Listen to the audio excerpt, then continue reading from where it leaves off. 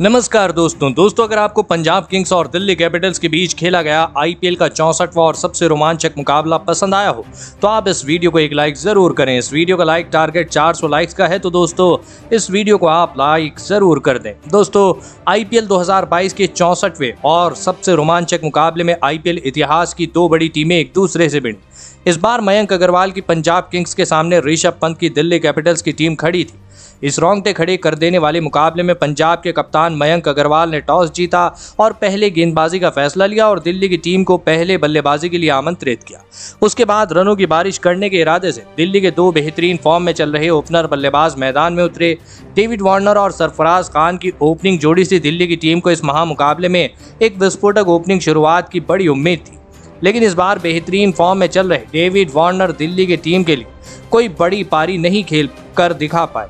और पारी की पहली ही गेंद पर डेविड वार्नर को लियाम लिविंगस्टन ने राहुल चाहर के हाथों कैच आउट करा दिया।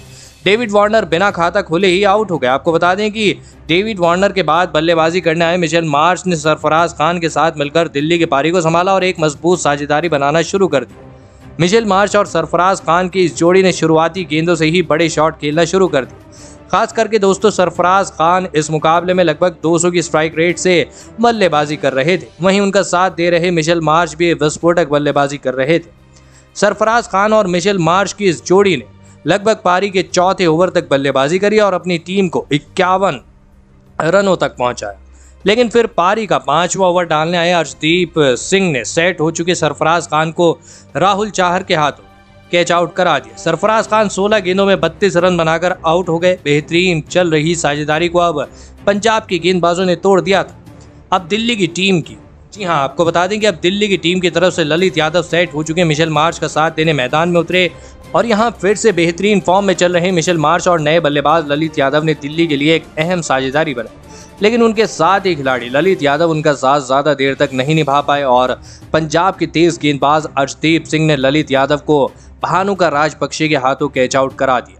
ललित यादव 21 गेंदों में 24 रन बनाकर आउट हो गए। यहाँ से पंजाब के गेंदबाजों के पास इस मुकाबले में वापसी करने का एक बढ़िया मौका था और ऐसा पंजाब के गेंदबाजों ने करके भी दिखाया और पारी का बारहवा ओवर डालने आए।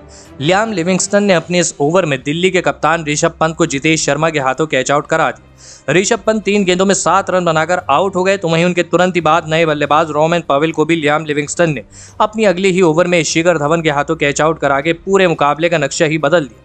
रोमन पवेल छह गेंदों में दो रन बनाकर आउट हो गए, लेकिन मिशेल मार्च दिल्ली के लिए सबसे बेहतरीन पारी खेल रहे थे। इसी बीच मिशेल मार्च ने अपना अर्धशतक भी पूरा कर लिया। मिशेल मार्च ने इस मुकाबले में 48 गेंदों में तिरसठ रन बनाए और इसी के चलते दिल्ली की टीम एक रनों का लक्ष्य पंजाब की टीम के आगे रख पाई। उसके बाद दिल्ली से मिले 160 रनों के बड़े लक्ष्य का पीछा करने पंजाब के दो बेहतरीन फॉर्म में चल रहे ओपनर बल्लेबाज मैदान में उतरे। जॉनी बेरिस्टो और शिखर धवन की इस ओपनिंग जोड़ी के कंधों पर पंजाब की टीम को इस महामुकाबले में अपनी शुरुआत देने की ज़िम्मेदारी थी। जी हाँ बढ़िया शुरुआत देने की ज़िम्मेदारी थी और पंजाब की दो ओपनर बल्लेबाज इस मुकाबले में लाजवाब फॉर्म में दिखाई दी जॉनी बेरिस्टो और शिखर धवन की इस जोड़ी ने आते ही दिल्ली के गेंदबाजों पर बड़े शॉट खेलना शुरू कर दी लेकिन फिर पारी का चौथा ओवर डालने एंड्रिक नॉटजिन जी हाँ विस्फोटक बल्लेबाजी कर रहे जॉनी बेरिस्टो को अक्षर पटेल के हाथों कैच आउट करा दिया।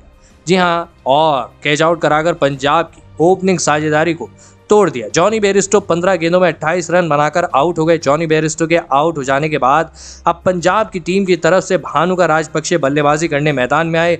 लेकिन यहाँ पर दिल्ली के कप्तान ऋषभ पंत ने एक बड़ा दाव खेला और पारी का छठा ओवर डालने शार्दुल ठाकुर जी हाँ शार्दुल ठाकुर को डालने दिया ये छठा ओवर और शार्दुल ठाकुर ने इस पारी के छठे ओवर में पंजाब के बल्लेबाजी की कमर ही तोड़ दी। जी हाँ दोस्तों, आपको बता दें कि शार्दुल ठाकुर की इस ओवर में पहले तो चौथी गेंद पर। भानु का राजपक्षे एनरिक नॉर्जे को अपना कैच थमा बैठे। भानु का राजपक्षे पाँच गेंदों में चार रन बनाकर आउट हो गए।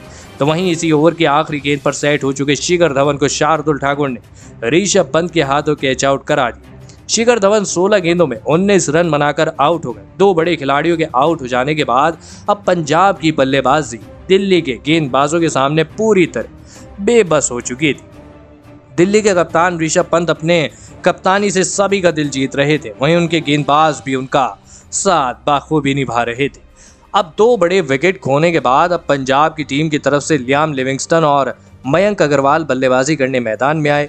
लेकिन पंजाब के कप्तान मयंक अग्रवाल इस मुकाबले में ज़्यादा देर तक मैदान में नहीं टिक पाए और पारी का सातवां ओवर डालने आए अक्षर पटेल ने मयंक अग्रवाल को क्लीन बोल्ड कर दिया। मयंक अग्रवाल बिना खाता खोले ही आउट हो गए। पंजाब की टीम एक के बाद एक अपने खिलाड़ियों को खोती जा रही थी और इसी नाजुक घड़ी पर ऋषभ पंत ने अपने सबसे बेहतरीन स्पिन गेंदबाज कुलदीप यादव को गेंदबाजी पर बुलाया और कुलदीप यादव ने अपने कप्तान के इस फैसले को पूरी तरह से सही साबित करके दिखाया और पारी के आठवें ओवर में दिल्ली की टीम को इस मुकाबले का सबसे बड़ा विकेट दिलाया और पंजाब के सबसे बेहतरीन और विस्फोटक फॉर्म में चल रहे बल्लेबाज लियाम लिविंगस्टन को कुलदीप यादव ने ऋषभ पंत के हाथों स्टंप आउट करा दिया लियाम लिविंगस्टन पाँच गेंदों में तीन रन बनाकर आउट हो गए तो वहीं उनके तुरंत ही बाद नए बल्लेबाज हरप्रीत बरार को भी कुलदीप यादव ने क्लीन बोल्ड करके पंजाब की टीम को इस मुकाबले में पूरी तरह दबाव में डाल हरप्रीत बरार दो गेंदों में एक रन बनाकर आउट हो गए। दिल्ली की गेंदबाजों के आगे पंजाब का कोई भी बल्लेबाज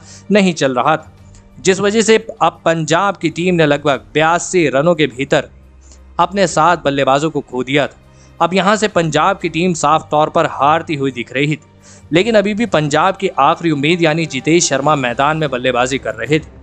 और फिर पंजाब के इस नौजवान विस्फोटक बल्लेबाज ने इस मुकाबले में दिल्ली के गेंदबाजों के ऊपर लगातार छक्के चौके लगाना शुरू कर दिए। जितेश शर्मा इस मुकाबले में दिल्ली के कप्तान ऋषभ पंत की परेशानियाँ बहुत ही ज़्यादा बढ़ा रहे थे।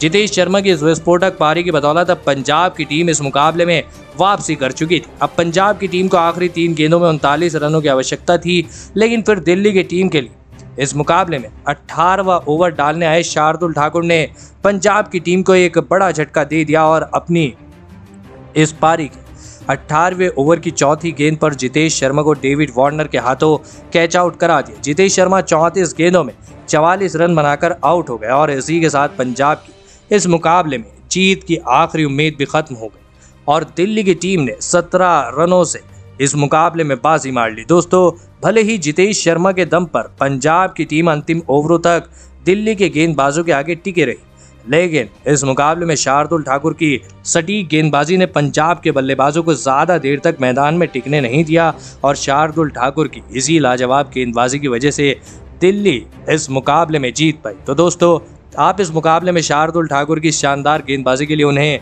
दस में से कितने अंक देना चाहेंगे, आप अपनी राय नीचे कमेंट में देना बिल्कुल भी ना धन्यवाद।